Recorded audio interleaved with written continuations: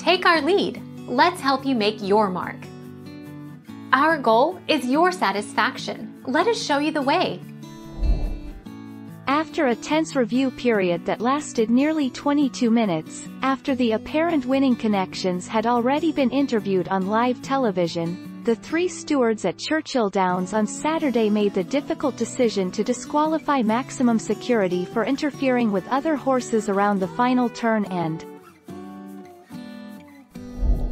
Thank you for watching. Please subscribe and hit the bell notification.